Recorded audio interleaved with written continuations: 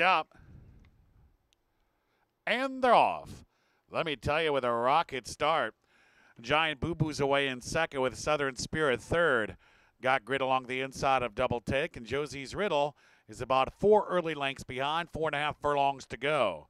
So now Giant Boo Boo has come to the lead with Southern Spirit joining him. Let me tell you, was on the lead, but is back to third. Double takes, bottled up on the inside, racing fourth. Josie's Riddle now has one behind him, and that is Got Grit, who's about six lengths behind, three furlongs to go. They hit the far turn.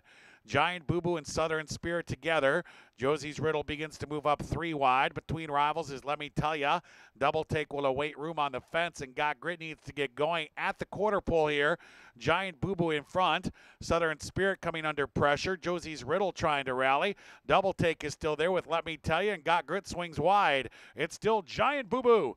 Giant Boo Boo one furlong to go, and Giant Boo Boo leads by three. Josie's Riddle now second. Let me tell you third. Got Grits into fourth, a 16th to go. Giant Boo Boo gone. Giant Boo Boo wins. Josie's Riddle second. Got Grit was up for third. Let me tell you, ran fourth.